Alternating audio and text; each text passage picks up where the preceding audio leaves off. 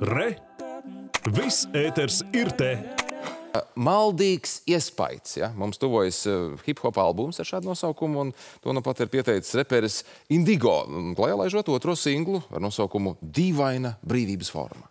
Par to, kam un kā tad tiek radīts maldīgs iespējas vai pavisam reāls iespējas, mēs šorīt arī īstojāsim. Protams, paša autora, reperi Indigo, arī dziedātāja Amanda Grīnberga pie mums un um, Aivars un Sebastians. Labrīt, prieks jūs redzēt. Grabinās un stringšķinās, tā teikt, arī Fonja. Labrīt. Um, jaunais hip-hopa mākslinieks, tā mēs lasām tajā pieteikumā, nu, droši vien, lai pazīstams savā lokā varbūt, bet tas tituls jaunais prasa uzreiz iepazīstināt ar sevi neizbēgami. Tad varbūt tiešām uh, īsumā no kuriem lokiem un no, uh, kādiem, no kādām dzīvēm?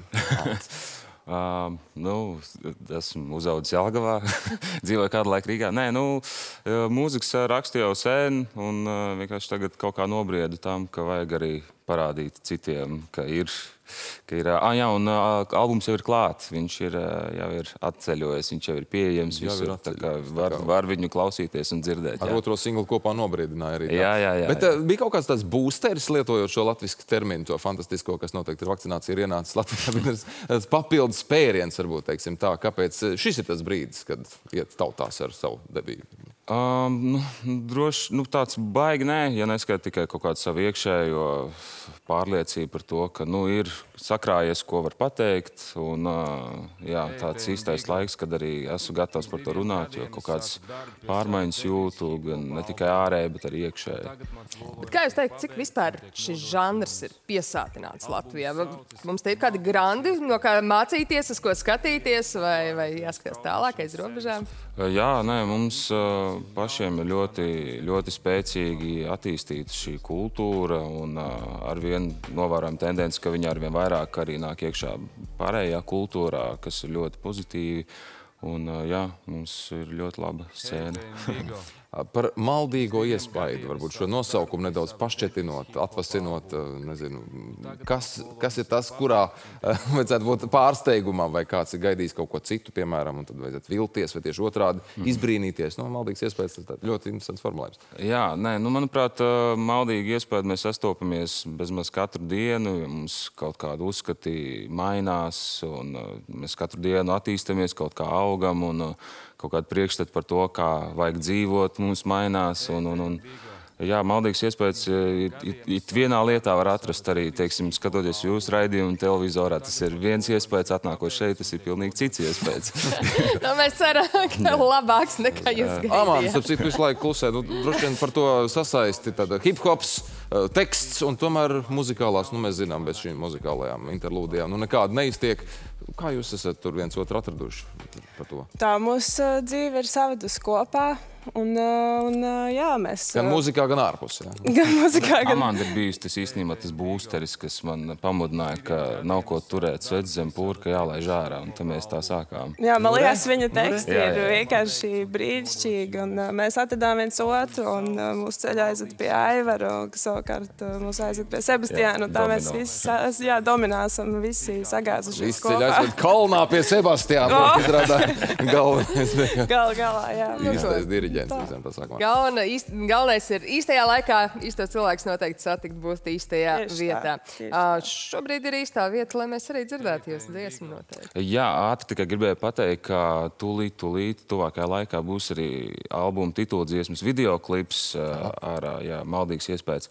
Tas būs pavisam drīz. Un 7. septembrī būs albuma prezentācijas koncerts Mākslas centrā Noās. Tā kā, jā, koncerts 7.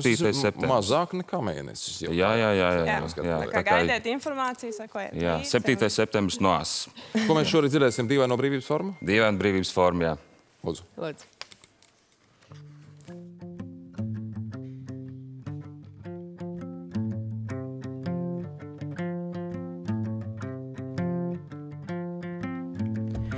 Uz katras lapas viens un tas pats. Stāsts par karu un mieru, bet nekad tu pats neatklāji. Kam tu raksti savu dzīvi? Uz katras lapas viens un tas pats. Stāsts par karu un mieru, bet nekad tu pats neatklāji.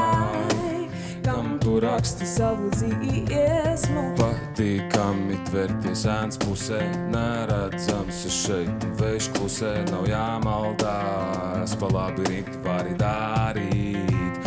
Ko tu gribi un pie kājas, ka citiem nav pie kājas, un tu nepiekāpsies, jo nav jāpiekāpjas gaidu izdevību. Gaidu, kad man kāds ko pateiks, tad man būs viss tiesības tevi drusku saplēst. Un tāda brīvības forma. Saka to, ko domā, bet domā, ko tu saki Tā ir ķilnieku loma, es tikai gribēju, lai tu vaļā turī acis. Jo agri vai vēlu tā čūs, ka sevi apēdīs pati. Paliec paralizēts, jo aizskart tevi nespēja nekas. Ķilnieki ielenkumā un ķilnieks arī pats, bet tavs alībī vienmēr, kad tu cīnies par to sapnu. Un auglis jāsadedzina, lai izvairītu to sapti. Tā es to redzēju, ja es izrādītu to saklas, tad visticamāk redzētu visu to pašu.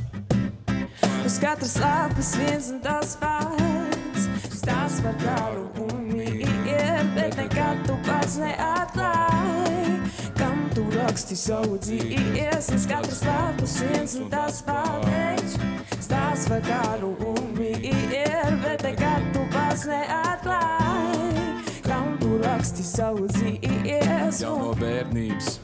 Labais manās acīs bija tikai teorētisks. Viss tās lietas, ko vecāki mācīja, nenozīmē neko, jo nesakrīt ar realitāti, nedzīvo pēc savas devīzes. Bet liek mīlēt un godāt, tas šķita tik mēlīgi, bet tas neliedza domāt. Varbūt tās es kas nevien nemīlu, un tāpēc visi mēsli uz pleciem man nonāk. Citur nekad nejūtos, es tik nebrīv kā svētdienas skolā. Vienmēr jūtos kā aiz stikla.